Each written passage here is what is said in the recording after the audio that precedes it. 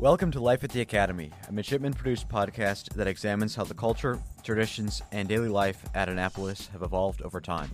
I'm midshipman Nels Waranimi. I first heard the name Craig L. Symonds in my plebe or freshman naval history class. As I got the syllabus on the first day of class and I began to look at the schedule of readings over the semester, I kept on seeing the name Symonds, followed by the number of pages that we were supposed to read that night. I can't say I took much note of the name at the time, but then as it came around to that point in the semester when we began to research for our plebe naval history essays, I kept on running into sources authored by Dr. Craig L. Symonds. And so I began to wonder who he is. I discovered, and I was surprised to discover this, that he was actually a professor at the Naval Academy. And then I discovered that he's one of the more legendary professors, perhaps in the history of the Naval Academy. And then I realized that he's a prolific scholar, as the author or editor of 29 books. And so when our team got together thinking about doing a podcast about the history of the culture of the Naval Academy, we knew that we had to talk to Dr. Craig L. Symonds as one of our guests. And so before I go any further, allow me to introduce you to Craig L. Symonds. He is Professor of History Emeritus at the United States Naval Academy. Professor Symonds received his PhD in history from the University of Florida. He served as the Ernest J. King Distinguished Professor of Maritime History at the U.S. Naval War College from 2017 to 2020, and Professor of Strategy at the Britannia Royal Naval College from 1994 to 1995. During a 30 year teaching career at the U.S. Naval Academy, Professor Symonds served a four year term as department chair and held the Class of 1957 Distinguished Chair of Naval Heritage from 2011 to 2012. He was the first person to win both the Class of 1951 Civilian Faculty Award for Excellence in Teaching and the Civilian Faculty Award for Excellence in Research. And he also received the Naval Superior Civilian Service Award on three occasions. Professor Symonds is the author or editor of 29 books, including prize winning biographies of Civil War figures Joseph E. Johnston, Patrick Cleburne, and Franklin Buchanan. His book, Decision at Sea Five Naval Battles That Shaped American History, won the Theodore and Franklin D. Roosevelt Prize in Naval History. He also wrote Lincoln and His Admirals, Abraham Lincoln, the U.S. Navy, and the Civil War, which won the Benjamin Barondess Award, the Daniel M. and Marilyn W. Laney Prize, the John Lyman Book Award, the Gilder Lehrman Lincoln Prize, and the Abraham Lincoln Institute Book Award. And that's only the beginning of a long list of awards and distinctions that he received over his career and is still receiving. But before turning to our conversation with Dr. Symonds, we thought it would be interesting to hear from the perspective of one of his former students. He was engaging. We spoke with Commander Benjamin B.J. Armstrong, who is currently a permanent military professor in the history department at the Naval Academy, and who's also a former search and rescue and special warfare helicopter pilot who has earned its PhD in war studies from King's College in London. We asked him what it was like to have Dr. Symonds as a professor. Kind of the famous class, the most famous class that Professor Symonds taught, at least during my time here at the Academy, was his Civil War history class.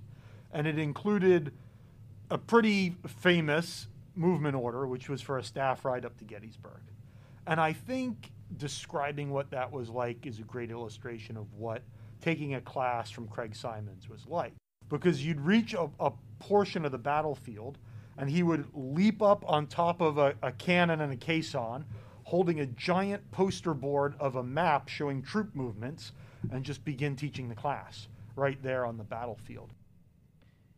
We then asked what it is in particular about Dr. Symonds' style that allows him to be both a successful scholar and an engaging teacher.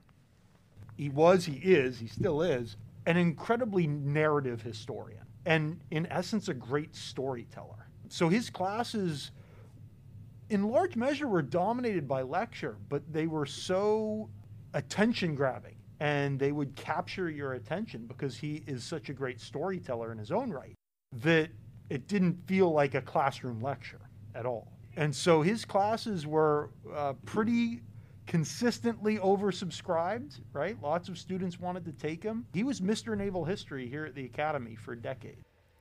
Commander Armstrong described Professor Symonds' distinctive style of lecture. As you'll soon hear in the interview, Professor Symonds talked about the importance of having the midshipmen close the learning loop during a lecture. Commander Armstrong remembered this as well. There was often, you know, in his storytelling, there would be the, the pause with the question, right? To try and get you to make that next leap, that next connection for yourself before he would pick up and carry on again. I think one of the indications of his reputation as a teacher uh, came in 1991, long before I was here at the Academy as a student. Um, but when Harrison Ford was preparing to play the role of Jack Ryan in the movie Patriot Games, uh, where Jack Ryan is a professor at the Naval Academy and teaches history, he came and spent time in Craig Symonds' classroom. And there's actually photos of this in the archive over in, in special collections in Nimitz. But he spent the entire day here at the Naval Academy following Doc Symonds around to see what it was like to be a history professor so he could embody that when he played the role. And there's photos of him sitting in class. There's photos of them having coffee together in Professor Symonds' office. Um, and so when, when Harrison Ford wanted to know what it meant to be a naval historian and to teach at the academy, Craig Symonds was the guy he learned from. In spite of the demand for his classes, Commander Armstrong told us that they weren't necessarily easy. He had a reputation for being very tough on students. You know, this was not an easy A. This might not even be an easy B. But despite that, his classes always filled. There were waiting lists. People wanted to take his classes regardless of how hard he was going to make them work, maybe because of how hard he was going to make them work. As the author or editor of 29 books, there's no doubt but that Dr. Symonds is a prolific scholar and author. But we asked Commander Armstrong how it is that anybody over the course of their career can write that number of books, and what it is in particular about Dr. Symonds that allowed him to keep the rhythm. I, I have no idea. I wish I knew. I wish I could crack that code. There, there are stories here in the department that I've heard from my colleagues that, you know, particularly when, when Dr. Symonds was the department chair, you might have a problem and you'd go to the chair's office to talk with him about it. You'd knock on the door and he'd wave you in while he was busy typing at something. And he'd turn to them and say, okay, what's the issue? And you'd go solve the problem and he'd come back to his desk, he'd turn to the keyboard and he'd just start typing again. He had a rhythm, is the best thing that I can guess. But uh, I have asked him myself some of the tricks to try and learn from and I have to admit that I think sometimes a lot of us uh, don't really know how we do some of it, but just dedication to his craft and and constancy of the work, I think are really important things when it comes to producing such a such a huge amount of scholarship. Dr. Symonds was not only the guy to learn from, but he also left an impact on the department. Commander Armstrong told us about this as well during his time here at the Naval Academy, right? So he was hired in the early 1980s, late 1970s, is a time period when the faculty, and, and in particular the history department faculty, really professionalized. All the new hires had PhDs instead of maybe just master's degrees and military experience, which was how the department tended to be staffed in earlier decades, say the 1960s. And he was here during that era of professionalization. And in reality, he led that era of professionalization with his own scholarship, his own productivity. And so he exemplified that professional historian identity that the department has really grown into to become the home of a lot of historians and professors that are really leading scholars of their fields. With that perspective from one of his former students, now let's turn to our interview with Dr. Symonds. Joining me today will be Midshipman Peter Shaner. Dr. Symonds, thank you very much for joining us today. My pleasure. We'd like to begin with some of your experiences as a professor at the Naval Academy, specifically beginning with one of the people who seem to be your mentor at the beginning of your career, Professor E.B. Potter. Could you tell us about some of the experiences you had with him and the lessons that you learned from him? I remember when I was first hired here at the Academy and I showed up my first day of work about a week before classes began in 1976. Um, Professor Thompson, who had just taken over as department chair, was escorting me around the floor deck. and indicated to me that there were a number of offices that were available. And I, first one he showed me, I said, "This looks fine. Uh, I'll I'll take this one." He'll say, "Okay, there's no window," and I thought, "That's all right. I can live without a window." And he said, All right, in this office, you will have to share a telephone with the professor across the hall. And I said, Well, who's that? And he said, Ned Potter. So Ned and I, uh, he was across the hall from me, but we shared a telephone, which was an interesting experience because he got calls from lots of folks. And of course, he'd been here teaching since before the Japanese bombed Pearl Harbor. So he had a long memory. And um, he was also in charge of what was called then, and maybe still is for all I know, Charm School. Charm School was for new professors, both civilian and military, who would meet weekly, usually at lunch, sometimes after classes were over, uh, to talk about ways to approach the material.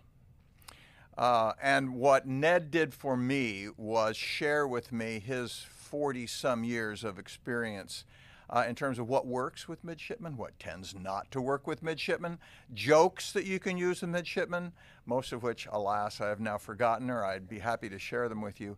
Um, but we overlapped uh, for only a year or two, uh, although we remained friends after that, and I visited him after his retirement in his home up on Pendennis Mountain uh, until just about until he passed away, about 10 years after that. So, sir, if you don't mind me asking, what does work with midshipmen and what doesn't work? Well, lectures are not great. Uh, you guys know this, of course. Um, you can't stand up there and dispense information like you're some kind of walking encyclopedia, and that's that's the easiest fallback method for a brand new instructor because you are in control of the classroom, you know where it's going, you've got your material right there, and you can just go. But you have to develop the confidence to, to invite the midshipman into the conversation. And if you don't do that, one, you will lose the midshipman. And number two, you don't really understand what's getting through and what's not. If it's only a one way street, you're throwing stuff into the classroom, but you have no idea how much of it is getting through. So I think that was very helpful. Professor, the uh, responsibilities of professors here, such as grading papers, are far greater than those at other universities. In addition, there's not a chance to work with graduate students. Why did you choose to stay at the academy throughout your whole career? And what was it like to work at the Naval Academy? Yeah, I have said this, I don't know, at least a hundred times to people who've asked me that teaching at the Naval Academy is the best job on the planet. It's absolutely, I mean, yes, you're right. There's no graduate students. You won't have people uh, who are very many people. I have had some midshipmen who've gone out and gotten PhDs and become professors and department chairs and all sorts of other things. So it does happen, but it's unusual. By and large, you are teaching, but what I am, I believe, is a teacher. Uh, and being in the classroom, smallish classrooms, 18 to 24, although I did have classes of 30 on occasion, um, you really connect with the midshipmen. And I just loved every moment of it and uh, would not have traded it for Harvard or Yale or any other place that had lots and lots of graduate students. Hmm. Professor, this is backtracking just a little bit. From as an outside observer, it seems that there is a little bit of parallelism between your career and the career of Professor Potter. Mm. Would you agree with that, or? No, actually, I wouldn't. Ned uh, was really the last of a generation of people who'd come here. Not that the meal, the, the, the union ticket matters a whole lot, but did not have PhDs, most of them, um, and who were here. Um, not expected to produce research. Ned did, of course. He wrote the, famously the book on, on Chester Nimitz. Of course, he supervised and wrote much of the Sea Power book that was the text here for two decades and more. Um, but by and large, it was almost like um, an elevated junior college in terms of the academic expectations. Yes, there was lots of individual grading, as you mentioned, um, but by and large, there was not the expectation when I first got here that people would produce books or original research or academic articles that were peer reviewed. Um, people who had a PhD were unusual. That was changing just as I arrived. I think Larry Thompson, who was department chair in his first year as department chair when I got here, was instrumental in changing not only the department but the entire academy from kind of a trade school, if you would, to a legitimate, high powered academic institution that had expectations of original research as well as effective teaching. So I, I think Ned and I had very different experiences in that respect. Um, so I, I, the parallelism that we have is we're both naval historians. We're both interested and ended up writing books about Chester Nimitz. Um, but I, I think our, in terms of our academic life experiences, are actually quite different. Interesting. Could you tell us more about the department chair you referenced? Was that his aim when he came here to transform the academy, or did that just happen? I answers both. Uh, yes to both of those questions. I think he did come here with an idea that he looked around, saw who was here. They were mostly um, veterans, I was going to say of the Second World War, but some of them of pre World War II era. Um, and, and they did not have, they did not attend the American Historical Association. They didn't subscribe to the American Historical Review. They didn't do very many researched articles, very few books. Uh, and I, he had come from Wisconsin, which had a tradition going back into the 19th century of being a very high powered academic environment, especially in graduate school.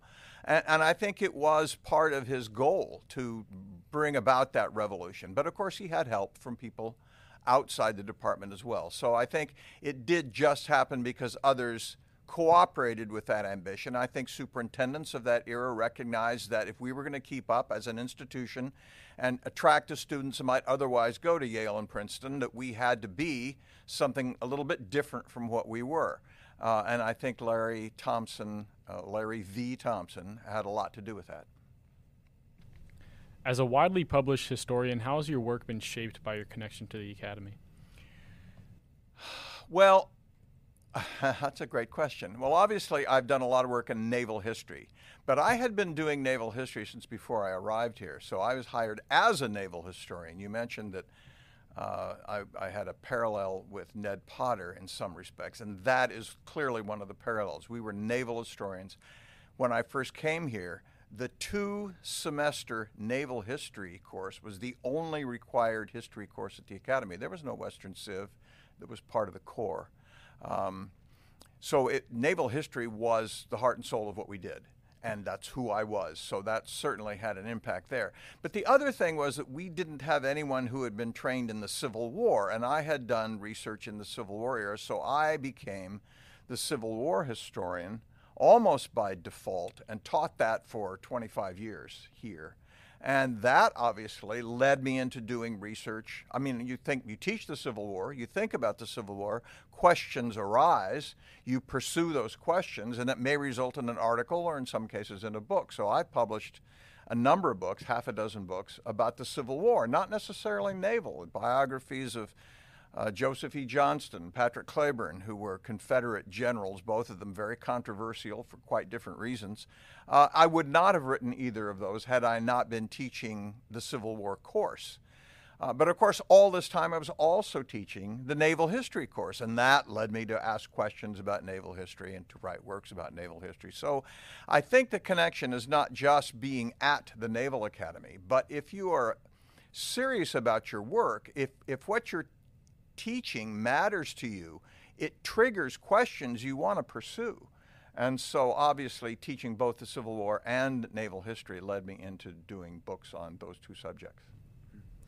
Dr. Symonds, looking back at your years at the Naval Academy, is there a moment as a professor that you look back on with pride? Oh, gosh, lots.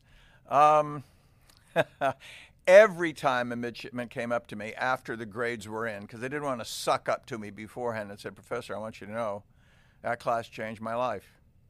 Uh, that's unbelievable feeling to hear that. To get phone calls 10 years, 20 years, 30 years from people who say, you know, I was just reading one of your books. It reminded me of of your class, and I was thinking about how that mattered so much to me at the time and has since, and I just wanted to call you and tell you that. Wow, amazing. Um, I remember when I was notified that I had won the Teaching Excellence Award. That was very gratifying. I remember the last class I taught in this building. It was a HH 262 class, a seminar, sophomore seminar class down in what they call G14 now. I've forgotten what the number was in those days, sitting around a table. And I was coming to the end of the class. There was a knock on the door, and a Marine major came in and said, uh, Professor Symonds, there's some people here who want to say goodbye to you. And I walked out into the hallway and the stairway all the way up to the second floor and all the way down to the other end of the hall was packed with midshipmen to say goodbye to me. So, yes, of course, there are moments that, that I remember with particular fondness, quite humbling moments, yeah. Professor, you've had the chance to teach naval officers at two very distinct stages of their development. How do you compare your teaching at the academy to your teaching at the Naval War College? Yeah, that's a great question, actually, and and it's both different and the same. Um, let me see if I can follow up on that response. Uh, curiously, I taught first at the Naval War College. I don't know if you know this or not. I had active duty experience. I was a flag lieutenant for the president of the Naval War College back in the early 70s, toward the end of the Vietnam War. And uh, when he retired and was replaced by Stansfield Turner, who came in to teach a course on strategy, but that was based on historical case studies, originally called History and Strategy, now called Strategy and Policy. Um, we kind of cobbled together that course, and I taught that one year in uniform as a JG, teaching mostly captains, some commanders. Uh, and then a year, uh, they asked me to stay for a year after I finished my obligated service, stay for a year as a civilian. So I taught two years at the War College before I came to the Naval Academy. So I already had that experience in my mind, and I think that helped me internalize what Ned and others taught me about teaching here, which is that you have to be part of the learning circle yourself. Uh, you can't stand up there and just say, I know stuff, here it is, write it down. Because when you're teaching captains and you're a JG, you are part of that group. I mean, I, I worked like a dog those two years because, boy, was I not going to embarrass myself in front of these guys.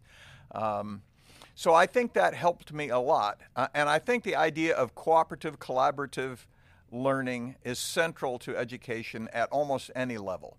But of course, the other difference is that you have you can assume more about cultural embeddedness, if that's even a word, with the senior officers than you probably can with midshipmen and particularly plebes. I found that here you had to explain background and context before you asked the question that required them to evaluate what it was you were really trying to get to, because they just didn't have the the information, the data.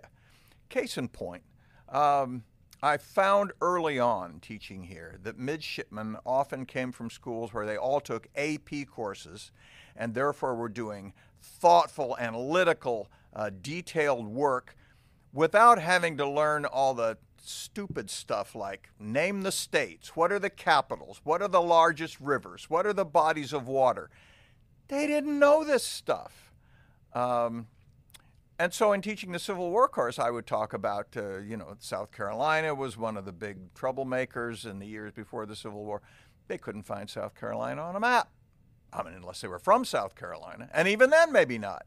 So, one of the differences is you have to make sure that your students, at whatever level you're dealing with, have the rudimentary uh, information before you can become analytical and thoughtful uh, about that information. I hope that's responsive.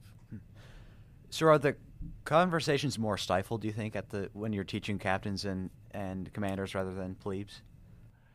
No, I don't think it is. I think you have to set an environment early on that in which you make it clear that I expect to hear from you as much as you expect to hear from me. And one of the hard things to do there is to wait out the students at any level. Yeah, you've probably happened to you. A professor will ask a question. Nobody says anything. How long do you let that silence go with people kind of squirming in their seats? I have known professors here who would wait 10, 15 seconds, which seems like two hours, until finally midshipmen say, Well, it might be this. And the professor would say, That's interesting. Any other thoughts? And everybody would go, Oh, God, we have to do this again.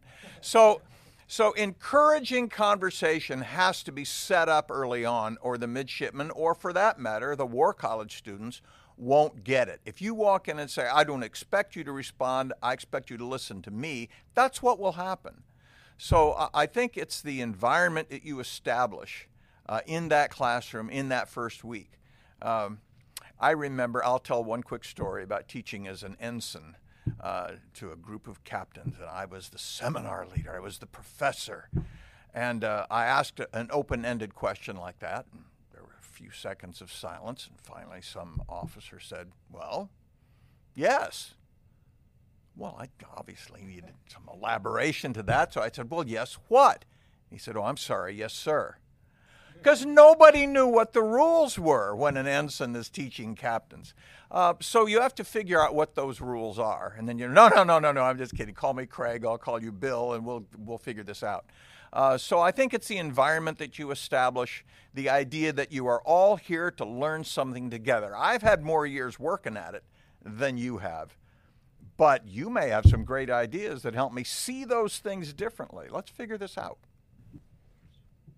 So, looking back at your time at, at the academy and then comparing that to what you see today, what do you think is the most significant change in midshipman culture between those two?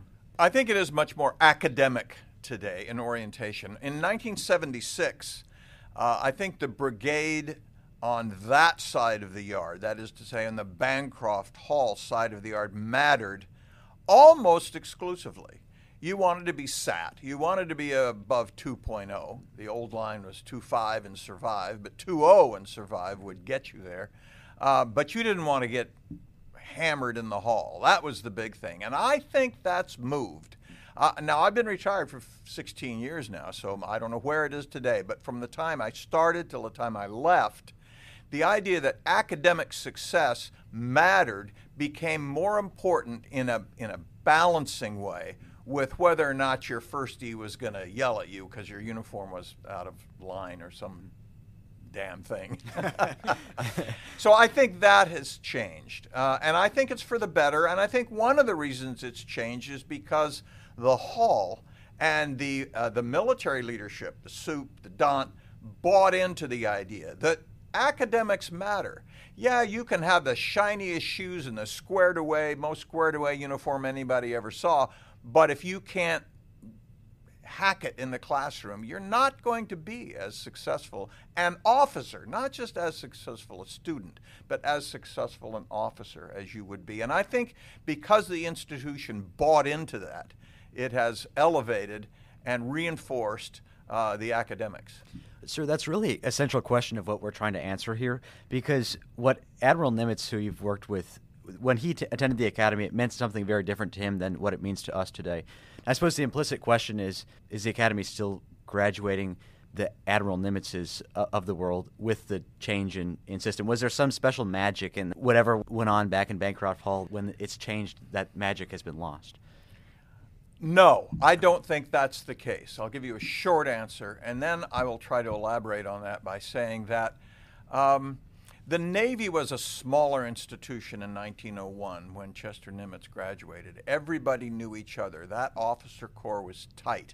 Everybody had a nickname. They don't do this anymore. You guys have nicknames that upperclassmen gave you when you were a plebe? Not really, sir. When I worked for Admiral B.J. Semmes, who was a vice admiral, I was his flag lieutenant, and I would write his letters, and, and he would tell me, write so and so, and tell him this and that. He was from Georgia. Write him and tell him, and do I tell him I want to do this. So I'd write up the letter, you know, dear Admiral Jones, whatever it might be, and then and he'd get it and he'd look it over and he'd take a pen and he'd cross out Admiral Jones and write stinky. or Flatfoot or Fuzzy, you know, whatever the guy's academy nickname was. They all knew each other. They all knew each other by those nicknames. It was like a fraternity hmm. almost. It's bigger than that now. The the brigade is bigger. It's twice as big as it was in 1901. You don't all have these ridiculous nicknames. Uh, so it's it's less of a you told me not to tap the table, but I'm going to do it. It's less of a ring knocker environment now than it was in 1901. So, in terms of academics, uh, I think the academics are much more severe today. Uh, whether uh, it's necessary, for example, that everybody pass differential equations in chemistry to be successful marine is an issue that's been kicked around all over the place. Um, I do believe, I absolutely believe, that it's essential to have a deep understanding of history. I say that as an historian, but also as an American, because it gives you that context to understand broad based issues of command and control and, and leadership uh, that may or may not be embedded in chemistry or differential equations. Um, but I think that Nimitz was successful because of his temperament as much as because of his education. Uh, he had a temperament that allowed him to be patient, uh, to be thoughtful, not to have a knee jerk reaction, not to smack people, uh, to listen as much as to talk. Those things, uh, you can teach some of it, but some of that is inherent. Uh, now, his generation, of course, did extraordinarily well in terms of climbing the ladder of success, but the reason for that is his generation graduated 20 years before the biggest war in the history of the world. Uh, elevations, I mean, you entered the war uh, in 1941 as a lieutenant, you almost certainly exited four years later as a captain. In any other four year period in American history, that would not have been true, except the Civil War. Okay. I had a colleague, Professor Fred Harrod, who also lives in town and you might talk to. Uh, Professor Harrod used to tell his students, he said, the single most important factor that determines whether you will make flag rank has already been decided your birth year. Because if a big war comes out when you're 15 years after graduation, you're probably going to make flag. Otherwise, it's coin toss. Professor, what values have you sought to instill in midshipmen through your teaching, and how did that change over time? I don't know that they changed over time. They probably did change over time because I learned more about the brigade and the climate and uh, and the Navy, for that matter. So therefore, it was possible for me to streamline and address my approach to historical problems uh, in ways that I think would connect and resonate with midshipmen. But the values I don't think did change. Uh, obviously, there are a number of values that are inherent to the brigade itself, you know, honesty, trustworthiness, uh, relying on one another, openness. But in addition to that, uh, there is a tendency then and now to say, yes, sir, yes, sir, three bags full. I can make that happen. Uh, sometimes you can't. And I think it's important to, uh, I tried to get them to understand that honesty, more than yes, sir, I can do it, uh, will contribute more, I think, to effective uh, command leadership than simply trying to bluff your way through a circumstance. So, uh, directness, patience, honesty, um, empathy, the ability to listen, the willingness to listen to juniors as well as to peers and to seniors. I think sometimes in certain military environments, the notion that an 04 is necessarily smarter than an 02 is not always the case, and 04s need to remember that. Sir, you were appointed as a professor the same year that women, I believe it was the same year, that women were first um, admitted to the Naval Academy. How did that change the culture of this institution? Yeah, when I first walked into a classroom here in 1976, there was a woman in that HH 100. It wasn't called that. HH 100, I think it was then, the first semester of the two semester naval history course taught to plebes.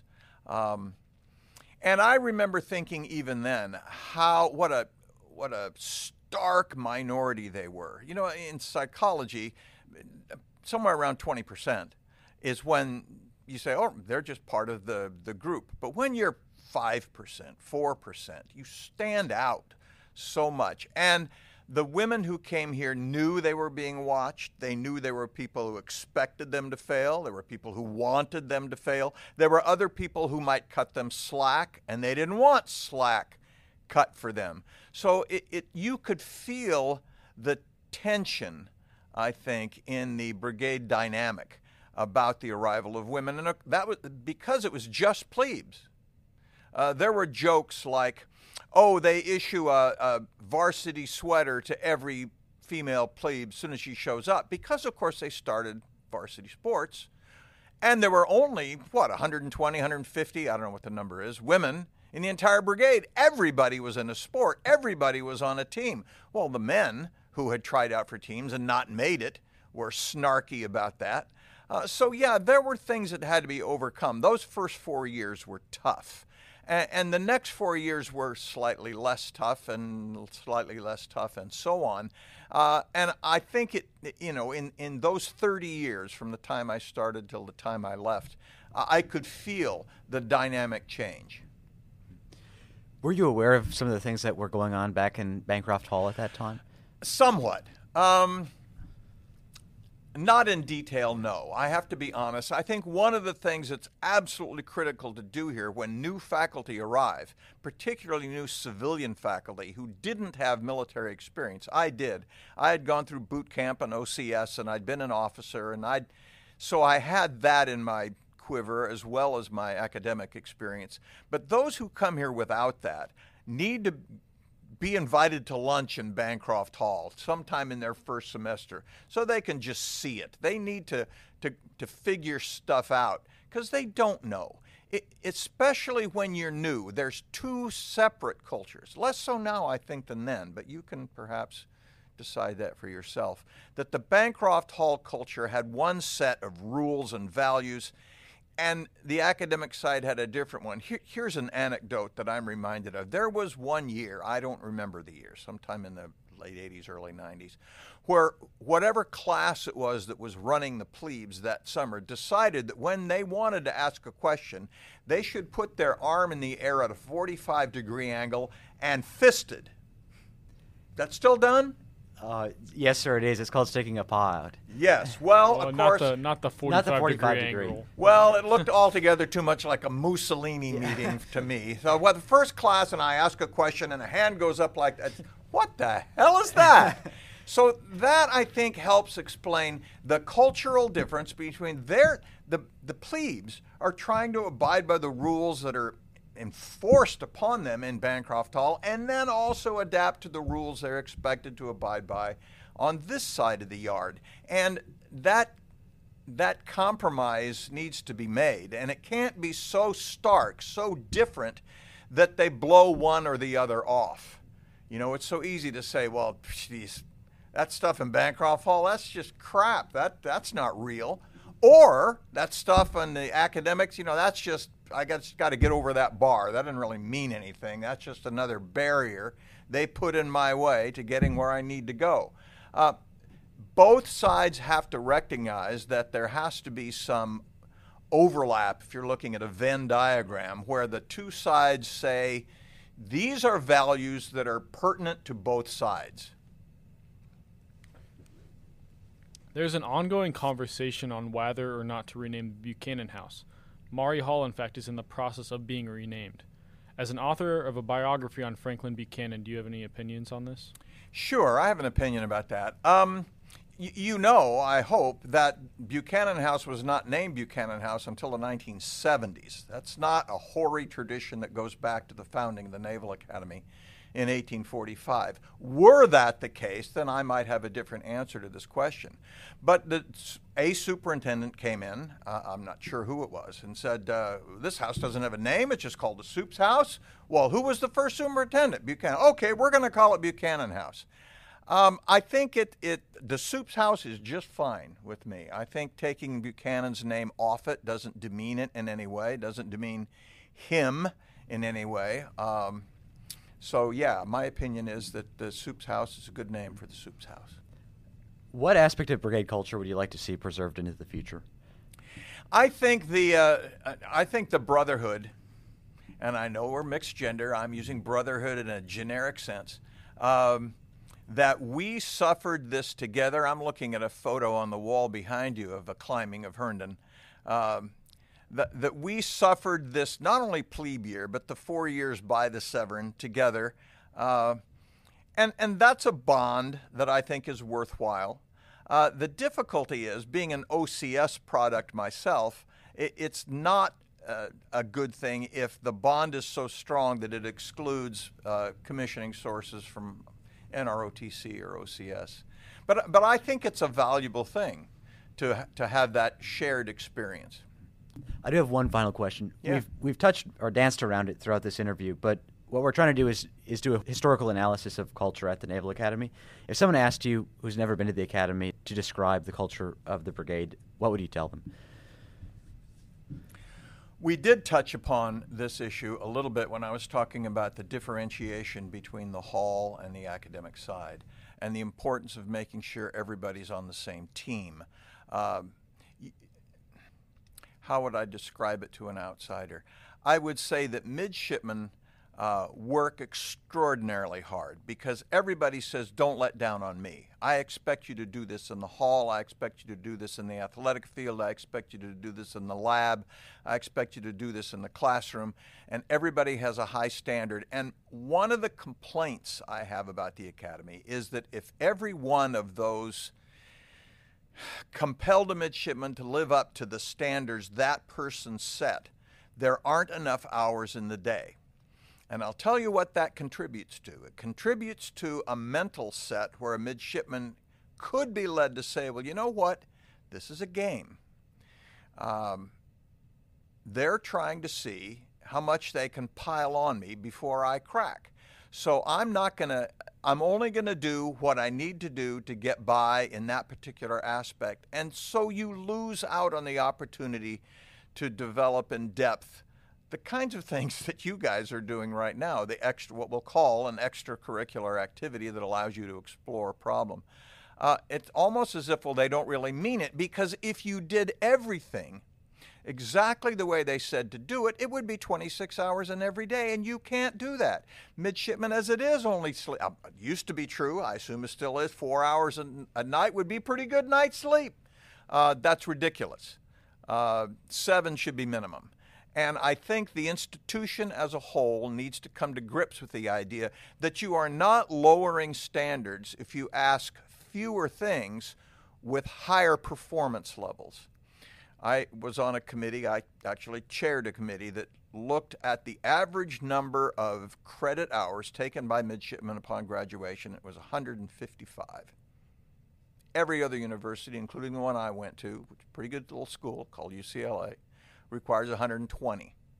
155 hours, plus the hall, plus everything else that goes with it. So we went back in and reworked it, got it down to about 142. And wouldn't you know that I heard from old grads, oh, you're lowering the standards, right? More is not always better. That's my little sermon for the day. Um, okay, I'll stop. well, Dr. Symonds, thank you very much for your time today. We, we appreciate it, and this has been a fascinating conversation. Good. I'm glad I could help. Good luck with your project.